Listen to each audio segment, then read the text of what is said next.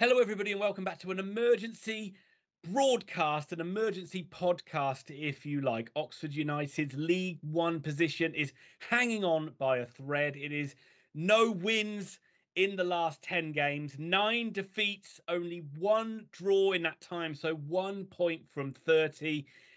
It is as bad as I can ever remember it. Probably you have to go back to that season where we got relegated from League Two into the conference, as much as I don't want to think about that. So, Oxford needs some hope. Oxford need to find some hope. And have they found some hope with the new manager that they've brought on board? I want to see a little bit like Liam Manning going out, much like Luke Skywalker did, putting a knee on a rock, looking out over the two suns of moons of Tatooine and giving Oxford United fans that sense of a new hope. Joining me on this emergency broadcast is, I can only can say, an Oxford United connoisseur, connoisseur. Robert, how are you doing? Not bad. I'm frantically thinking of Star Wars gags. So if you could talk for the next 20 minutes whilst I think of some really killer Star Wars gags, that'd be great. I have a really bad feeling about this. It's time to draw a line in the sand. And the only thing Oxford United can do now is look forward to these final 10 games. It's 10 games to save our season, it's 10 games to stay up. Oxford United have brought in a new manager who takes charge. Uh, it'll either be, if I bring this video out today on Sunday, it'll be tomorrow. If I bring it out on Monday, it'll be today. But Liam Manning is the new boss. He will be in charge for at least these final 10 games of the season. Who knows after that? And it's been an interesting appointment process by the board. There's been how many names have been thrown around. Every day there seemed to be a new favourite for the job. Everybody kind of had their own fa- favourites of who it wanted to be. And there was some a lot there are some people that have been underwhelmed by this appointment. But Robert, how do you feel about Liam Ma- Liam Manning being the new manager? Liam Manning wasn't someone who I knew an awful lot about probably 72 hours ago of all the names that are being listed, I mean, you had um, Appleton who's been linked, you had um, uh, Grant McCann, you had the beast from Boggo Road who was actually being favoured from one of the jobs, and I really hope you get a picture of him up there for that one. That's Nathan Jones. Uh, for those people who were not familiar with Attitude Era WWE, WWF, sorry. It was WWE then um, suddenly Liam Manning was becoming the overrun favourite to take the job. And to be honest, I'm quite happy about it. I can understand people being a little bit hesitant about it. If you look at his track record, and I am just flicking through Wikipedia whilst saying this, it's thin. There's no real way to say about it. The only club that you would say is was Milton Keynes Dons was his only real sort of notable club he was, and he had some success there before the wheels came off a bit this season. But I feel that he's a young manager. He's got He's, he did a good job at Milton Keynes Dons. He sort of assembled some good teams there. I mean, they were absolute bastards for us to play against in the last few seasons, which is always a good sign. And um, I sort of feel like he could be a good promising manager for the future. Whether or not we we need a manager to come in now and give us the cliched managerial bounce the sort of Sam Allardyce like four or five wins on the spin that sort of stables stables the ship. That's not stable, steadies the ship even, and um, uh, gets you know and sort of keeps you up. And but I sort of think he could be someone like Robinson, like um, Appleton, who took their time to sort of settle in, to sort of get their ideas across to the players. Sadly, we've only got ten games that to happen.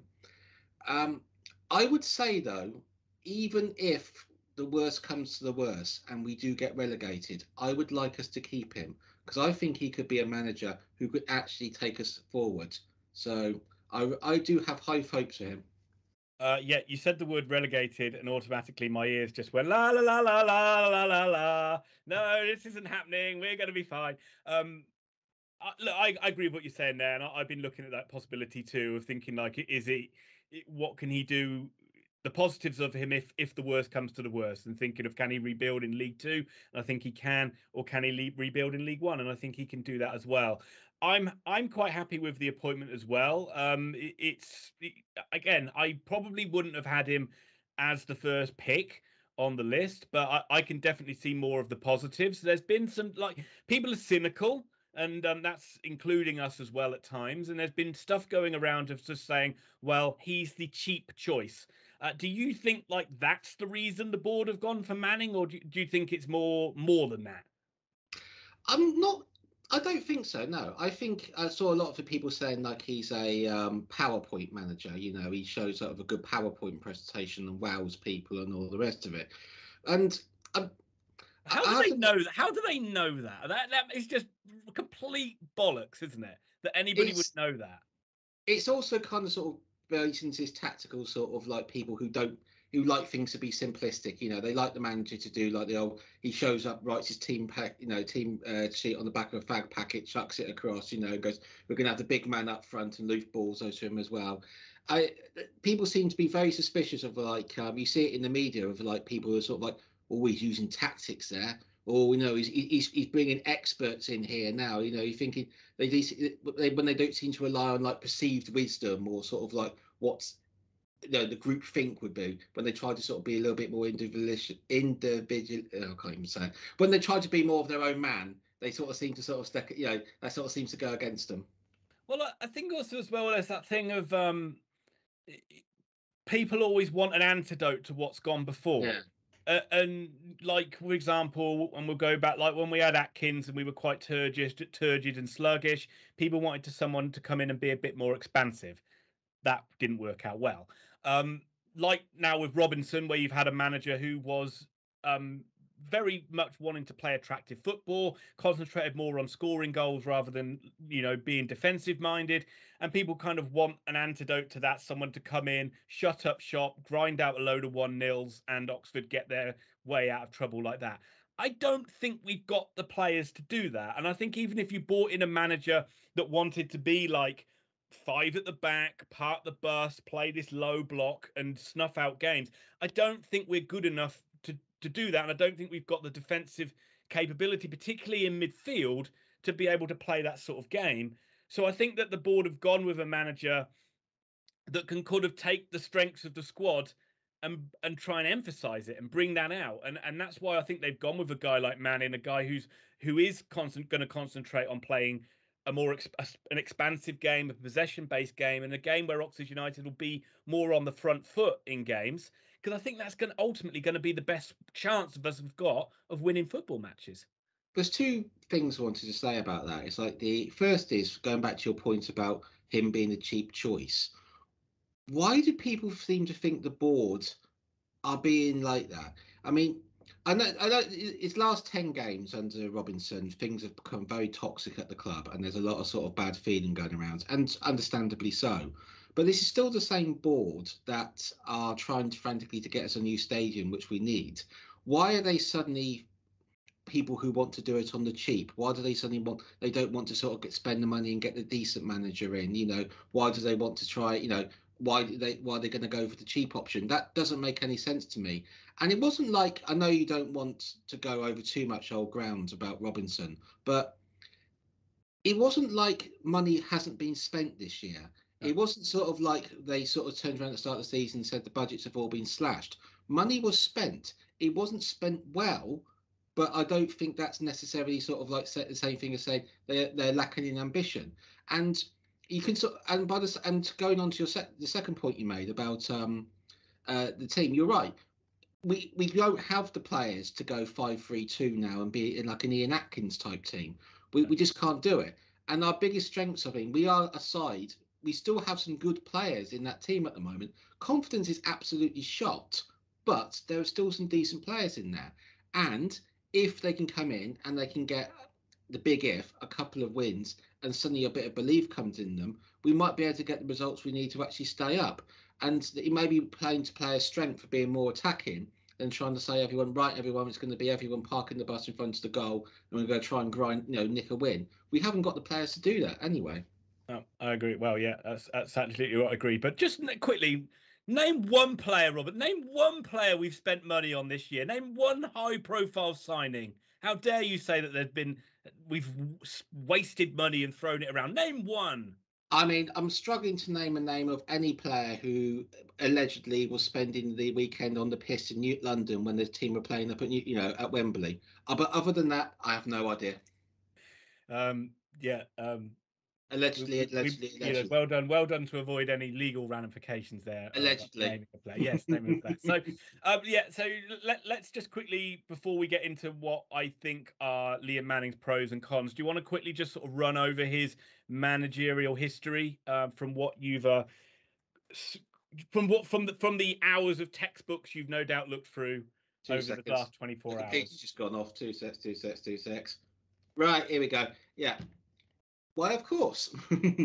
uh, yeah, his playing career was pretty much not very much. He sort of he was at Norwich. He joined Ipswich, and then he was released about 2005, and then spent his time sort of going around the non-leagues. He played for a, a bunch of sides who, frankly, Bishop Stortford, Long Melford. You know, Well, I mean, if if he's in management and he's been in management for a few years now, Yeah. and he's Oxford's manager at 37, which absolutely makes me feel like I want to get my pension out. Um, then obviously he didn't have a great playing career. So no, he went to Iceland and spent some time over there. But his strength could be that he went to go become an academy coach at Ipswich and then went to become the West Ham under 23 coach in 2015. He then went to go and join the New York um, FC in 2019. And then he moved to a Belgium side, uh, Lommel SK, Mhm. and uh, he did all right. And then was moved over to um, MK Dons in 2021. And side note, what the hell must the MK Dons fans must have been saying in like, August 2021? Well, yeah, I mean, they probably were saying that, but we've seen other clubs, namely Ipswich and namely Pompey as well. Pompey have taken Mousinho, who's, Yeah. who's give, they've given a punt to him, and and um, Weston McKenna coming into Ipswich was a bit of an unknown Yeah, force, and they yeah. gave a gave a chance to him. So, um, I think in many ways, just going back to another thing, I think the board would have been happy with Manning is when he came into MK Dons, he kind of took a Russell Martin side that were very good at keeping the ball and playing possession, but didn't really do much with it. Were quite toothless for a lot of the possession they had, and emphasize and, and taking that a step further and making them more dynamic and making them better. And I think that's another uh, thing of what the board will be hopeful he can do with a Robinson side, which again likes to keep the ball, likes to keep possession, but for a large periods of the game don't do a lot with it. I can see a little bit of similarities in a way between Robinson and um, Manning in a way. Robinson's sides at his best were very attacking and very adventurous sides to watch. And without wanting to tread on our ground, things just went wrong for a variety of reasons. We will never probably know the full stories, whatever happened. It, things did not go wrong. And it's the same with him at Milton Keynes Dons. They got promoted. No, no, they didn't get promoted. They were sort of challenging for promotion and then things went wrong for them this season. And that just happens sometimes at clubs for whatever reason. Man, maybe the manager's shelf life is uh, limited, in which case you need like a, a you know a change. Someone needs to be bringing in as well. Doesn't necessarily mean that Robinson's a bad manager. He just had need, maybe needed a new challenge. Likewise, Manning's probably not a bad manager. He just the time ran out at Milton Keynes Don, and he needs to move on to the next thing. But it's still that season with MK Dons last season. They got they finished on 89 points. Yeah, Uh, they oh, came third in the league, a point behind Rotherham. Um, if they'd have beat, I mean that that game they lost to us one 0 at the Kassam. If they'd have won that one, they'd have gone up uh, as automatic promotion. Uh, and and they they they scored 78 goals. They conceded 44. So you know they scored a few less than Oxford, but conceded a lot less than Oxford. So it's um it, you can definitely see why he's bought in. And then there was a huge turnover of players of MK Dons, and they notably lost some key loan players and sold two of their best players in Scott Twine and Harry Darling, which are always going to be difficult to replace. And they just, you know, haven't been able to turn, haven't been able to replicate the form as what they had last season, which is what you, you've just said. Um, so while he doesn't have a a long CV in terms of management, in terms of like you, what you can draw back on. I still think from the sample size of what he's done, I think you should be encouraged for what he's done in a short space of time. I know. I mean, you can look at someone say like Michael Appleton, and I know a lot of fans want him to come back. I was less keen because I think like you should never go back, it's very rare that you can ever sort of emulate the success you had the first time round at the club. That very rarely happens. I would have been perfectly happy with Grant McCann. I think he's a um, very good manager, and I think he would have been a perfectly sensible, solid choice for him. I would have been happy with Nathan Jones to to a degree because I think he's a controversial figure at times, but I feel like um, he has had some success with um, with Luton.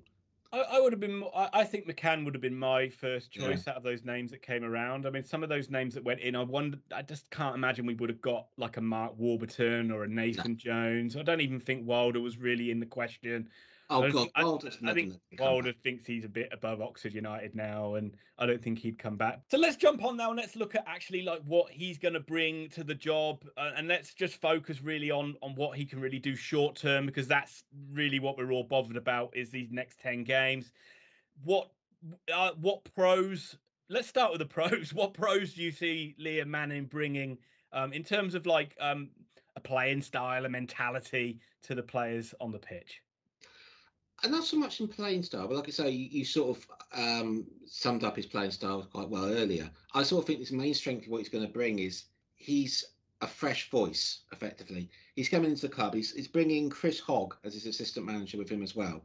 So his two new voices are going to be coming into the club as well, and it's going to be a shake-up for the players. You know, sort of like um, the, whatever reason, for all the for a long time we've been having them sort of talk the talk in the um, build up to matches. Said we've had a good week, we've bonded, we've all worked together, we're all piling high, you know, come brothers, we're all going to unite and stand together, and it never works. We kind of feel like saying we need these new fresh voices are going to come in there, and they are going to they're going to have a fresh pair of eyes. They're going to be looking at players.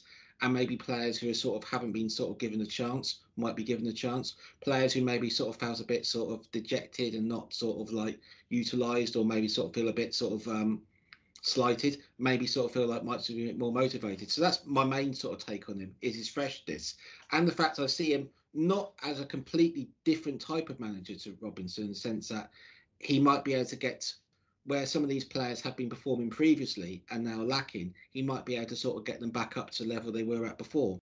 Well, I think you've kind of summed up the off the field kind of stuff he'll have in terms of the mentality around the change room. But I will just focus on some of the pros on the on the pitch because I do think that he has got a style that should relate well to these Oxford United players. He likes to play a possession game.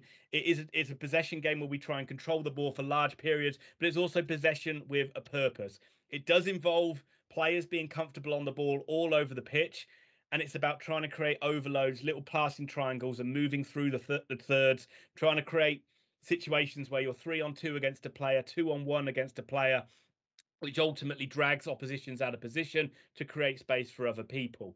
It's designed to try specifically to break down teams that play a mid block or a low block against you, which Oxford have struggled at when we have gone down in games, we've often struggled to create chances. So I think that should help Oxford United out a lot.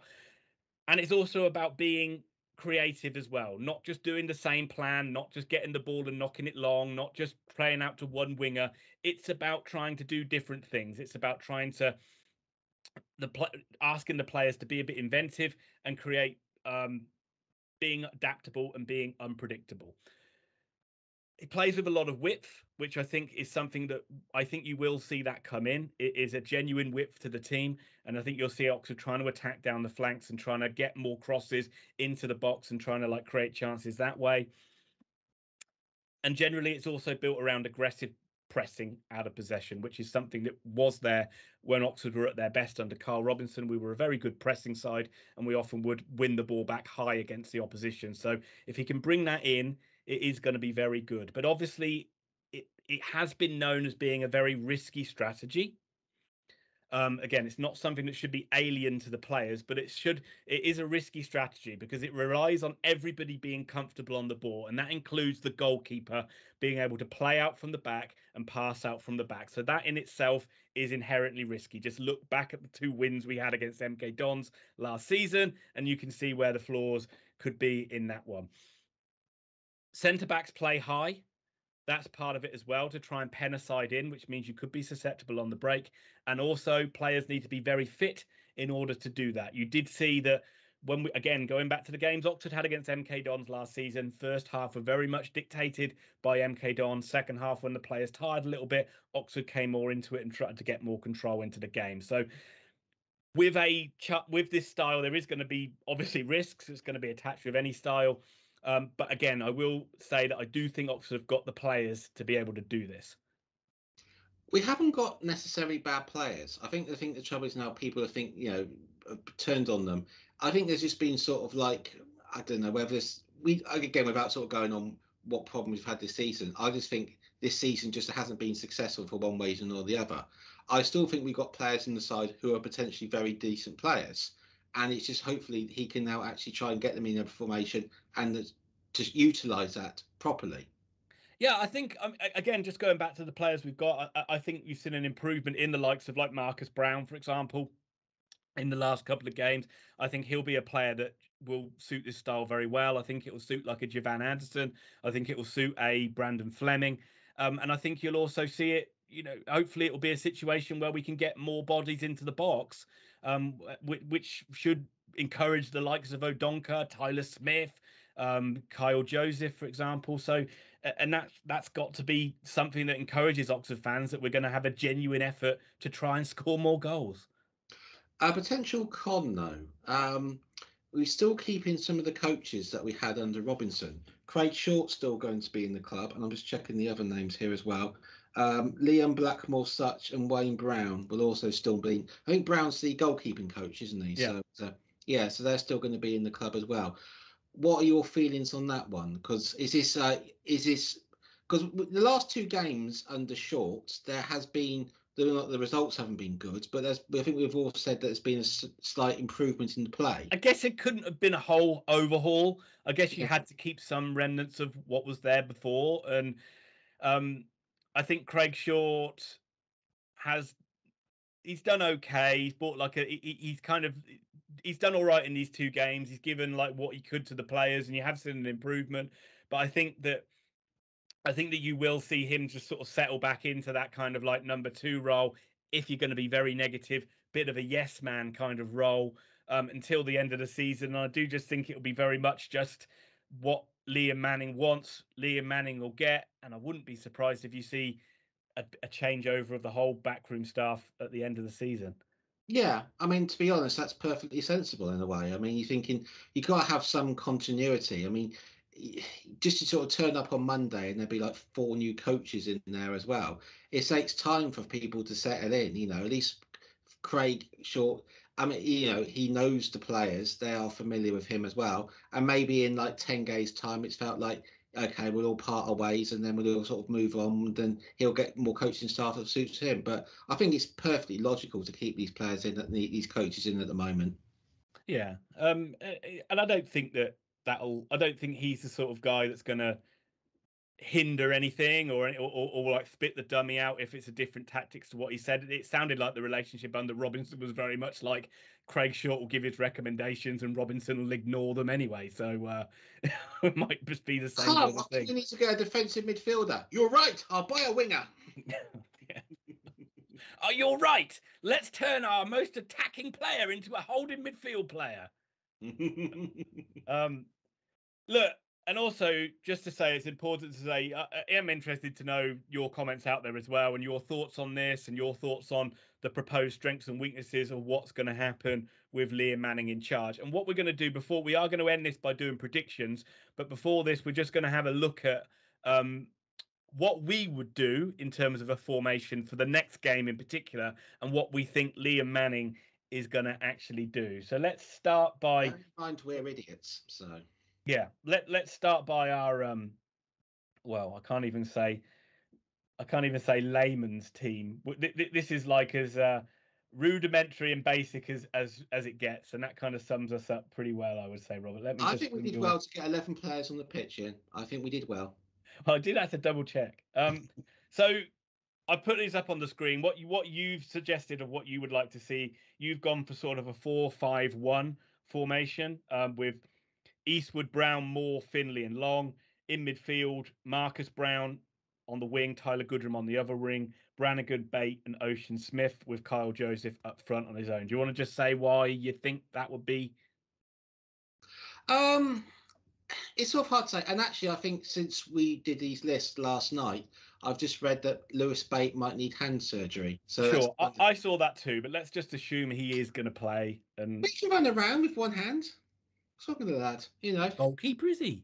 Yeah, exactly. Strap the damn thing up and run. God's sake, mate. Anyway, um, I would just say Smith, uh, uh, Ocean Smith, he seemed to play well. A lot of people were talking about yesterday. Is like he came on and sort of like um, he hasn't been used all season for one reason or another, and he looked quite promising when he came on. And he's a bit, he's an unknown quantity at the moment. And also, I was going four five one because I was thinking this is a way of our biggest problem is that we are shipping in a lot of goals at the moment. So this is a way of just trying to keep maybe keep things a bit tighter than it needs to be. But then there's still plenty of options for players to bomb on forward and join up with um, the striker up front, and when our wingers can put some crosses in. So that was my real thinking about it. It's like we got the the players we got at the moment are out of form and low in confidence, and I sort of thought this might be a way to just try and grind out some results and maybe boost that confidence up a bit. That's probably not some bad thinking. I, have gone for even. I've gone for such rudimentary tactics. You you just couldn't even make it up. Really, I've gone for. This is what I would do. I would strip it right back to basics and play four four two. I would go with Eastwood in goal. I'd go with Brown left back, Findlay and Moore Findlay and Moore as centre backs, um, and Sam Long as right back. I'd go with Marcus Browne and Goodrham on the wing. I'd go with Brannagan and McGuane in midfield. I just don't think Ty, um, Lewis Bates been that great in the last few games. So I'd like to see McGuane come back into the side, and um, I'd say Kyle Joseph and Gatlin O'Donkor up front as a as a duo. I, I just think we need to play two strikers. I want to see two people up there. I want to see this, and, and I think every every footballer should be able to play four four two. It keeps it simple everybody should know their roles. It gets natural width in the side, and you've also got two. When you get crosses in, you've got two people going for it rather than one. That's just keeping it simple. But there's sometimes though there's something to be said from that. Football is a game that's often ridiculously overcomplicated, and sometimes the simple solutions, you know, is Occam's razor. You know, the simplest solutions often the correct one. Oh, I like that one. That's good. That's I know. Good. Highbrow. Didn't, didn't expect to see that highbrow. We are let's educated. See, let's see if you can work a Schrodinger's cat reference in there somewhere as well. um, so let's, but let's. That's what we would do. Um, and and I think you're all jumping up and down and thankful that we're not given the managerial role of Oxford United. Grateful um, but I but I I played that scenario through on Football Manager, and I can say that I won one out of twenty games with that formation. Um, so there you go rolling it forward, this is what you think that Liam Manning will do, and you've gone with pretty much sticking with what we've got. You've gone with four three three, Eastwood, Brown, Moore, Findlay, and Long. Lewis Bate holding behind Brannagan and McGuane. Anderson on the on the um, right hand uh, on the right hand side, Marcus Browne on the left, and Kyle Joseph up top. So not a huge departure from what we had on the field um, against uh, Derby. No, I don't. I kind of sort of feel like um again I am not I will admit ignorance. I've I you know I was basically having to look up what Liam Manning did in terms of sort of tactics. And obviously he tends to sort of like um I sort of felt like saying that sort of like looked like a team as I could sort of see him playing. And he's also like a bit of continuity as well. You know this is a team that started off last time. He's he's only going to have about four or five days with these players anyway. So there's going to be an element of like what you know let's not try and change everything too radically or anything like this at the moment. Let's all try and do what we're doing and just try and do it better. I have gone with. I've looked at his style over MK Dons, and I've gone with a formation that he used to play with MK Dons, and I just and the reason why I've done it, and I'll just name the side. I've gone with sort of like a three-four-two-one. Um, Eastwood obviously in goal, three centre backs of Brown, Moore, and Long. So I've found a way to get Stuart Findlay out of this. I feel bad for him. He's had a couple of bad games, but he, he's just not looked good. Um, Brandon Fleming comes back into the side as the left wing back. Djavan Anderson plays as the right wing back. Cameron Brannagan um, in the midfield with Marcus McGuane.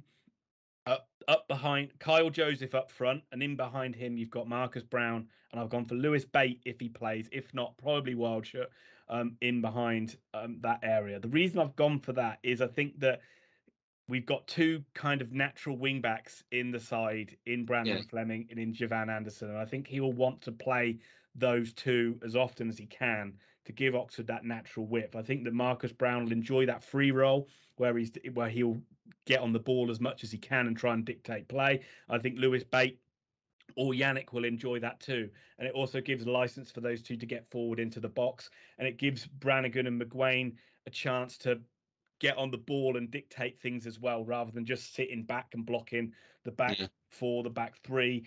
Um, you've you've got three centre backs in there, which should give you a bit of defensive solidity as much Yeah. as we can do. But I think that he is going to look more towards how we're going to score goals rather than how we're going to keep them out.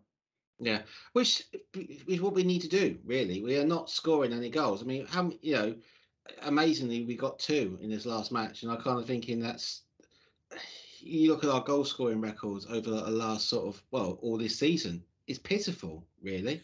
Yeah, I mean, and the encouraging one was Kyle Joseph runs clean through. Kyle Joseph smacks the ball into the bottom corner. I'm just hoping that all of a sudden that brings the oh yes, I know where the goal is mentality back for Joseph, and we have a little bit of a run of form for him till the end of the season.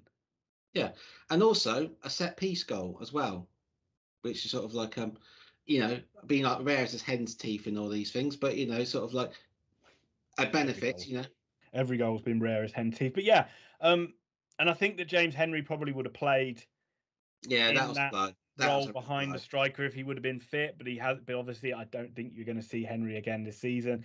Um, and then you've got, uh, but then depending on who's fit, you do have still options on the bench. You you know you don't. Kanate might be back. Tyler Smith might be back. The man who shall not be named might be back. Um, and, and you've obviously got Gatlin O'Donkor as well. So you do have you do have some attacking options to come on and influence this game too. Yeah, I mean, also got. I'm not sure what's happening to like, Billy Bodin as well because he's still.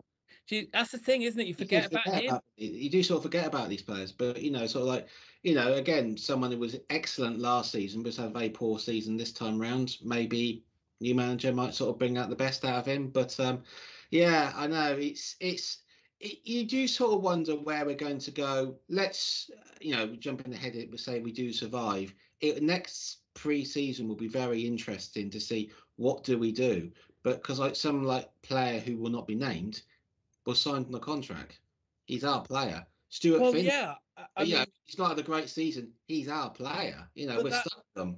but this is like kind of why you sh- you can't just completely write these guys off as saying oh they're crap and they're the worst signings ever because we are going to probably need them again next season and you never know Liam Manning might be able to bring out what everything what Karl Robinson was hoping to bring out of them and, and, Yeah. and might be able a- and uh, at the end of the day we're giving Josh Murphy a lot of stick and he and, and it, he's he's had ridiculous amount of injuries this season and he hasn't been anything like the player that we thought we were going to sign. But at the end of the day, if he's fit and if he's motivated, he is still a good player at this level.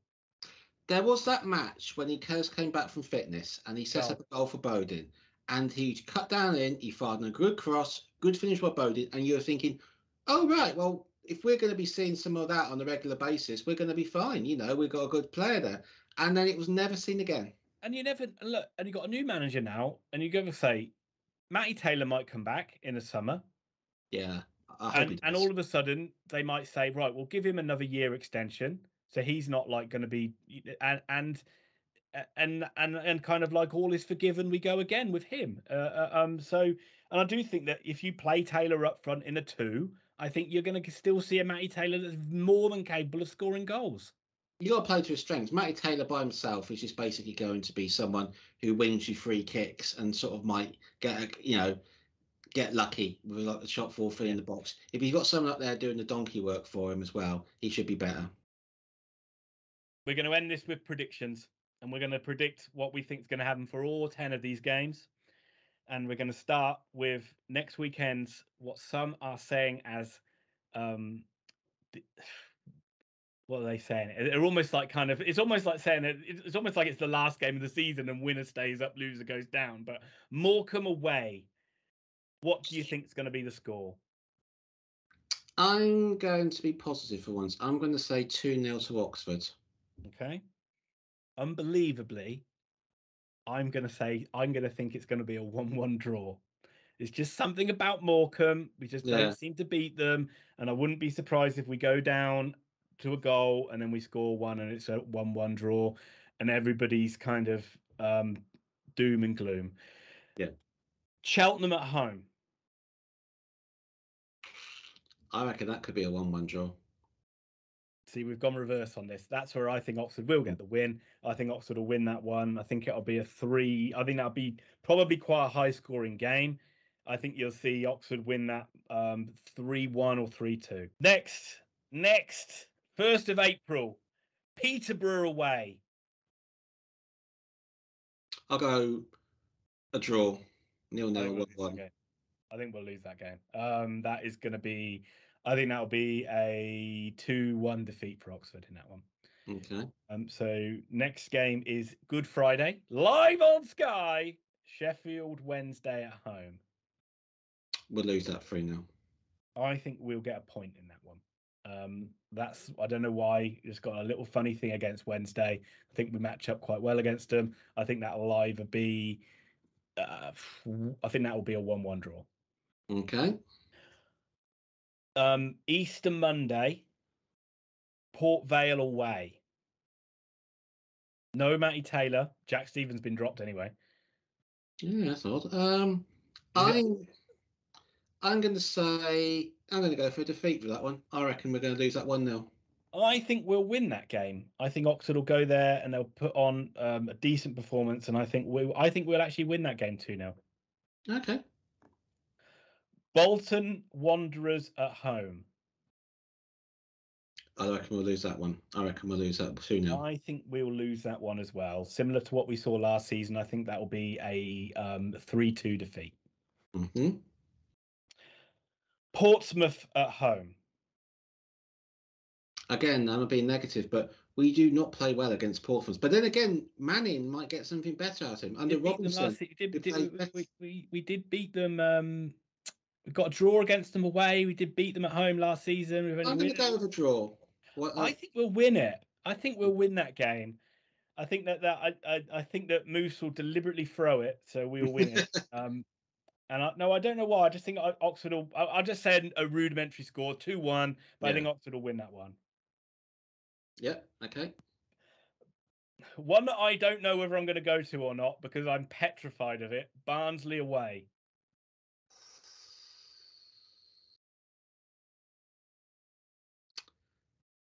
I'm going to go with a draw.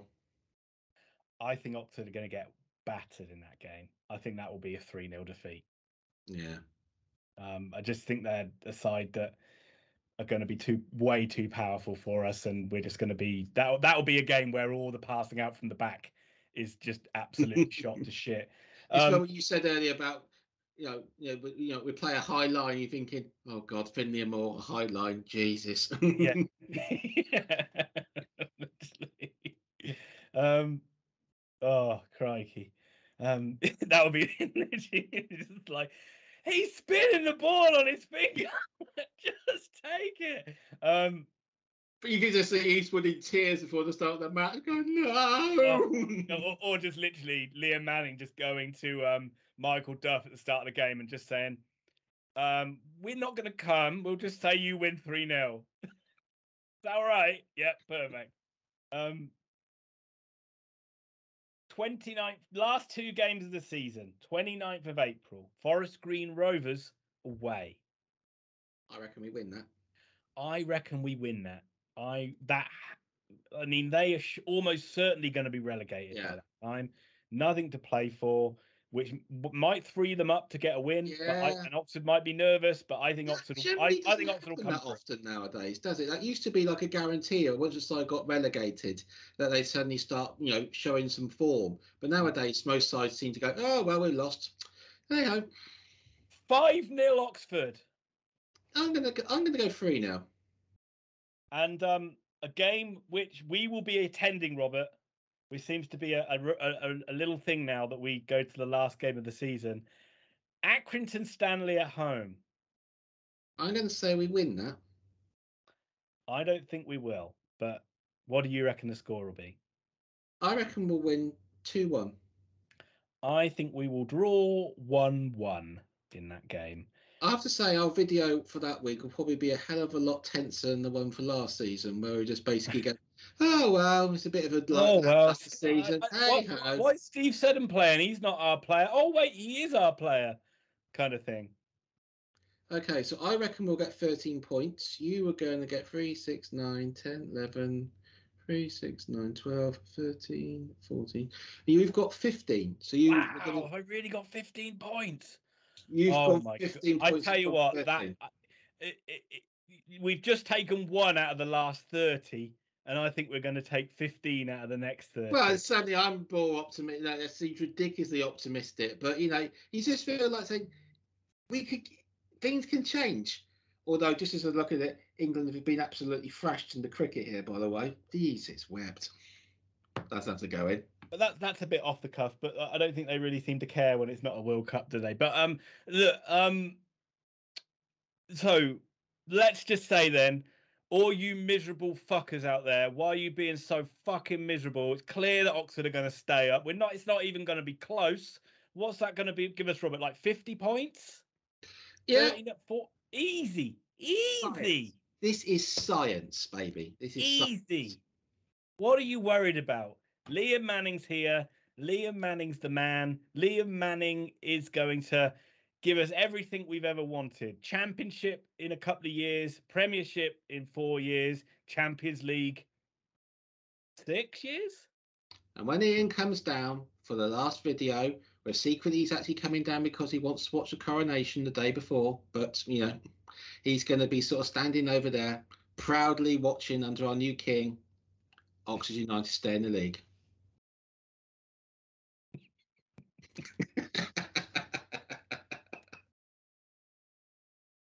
On that note, thank you very much, Robert, for um no problem. thank you very much for joining me on this um journey spiral into madness as i'm calling it as this oxford united season reaches this last 10 games. Look we it desperately needs to turn around. It desperately needs to improve. We have obviously looked a little bit glass half full and thinking that it is your you could give your predictions and your thoughts down below i'd be fascinated to know what you're all going to think MK Don fans, if you are watching this and wanting to know what your old boss is up to, please honestly give your opinion on, uh, on Liam Manning and what you think of him. not just MK Dons fans. What about that dodgy Belgian side? What about that New York City FC? All those fans can jump in and chime Any in. too. Icelandic fans who want to pitch in, we're more than welcome. There we go. Um, as always, hit like. As always, hit subscribe. Um, and um, if you've got to this point of the video, well done. And um, yeah, you can you can go and do something more productive with your time now. Um, we're gonna we'll, I'll be back to do a review of Oxford United versus Morecambe. I'm already looking forward to it. Robert, say goodbye. Bye, everyone. Bye for now.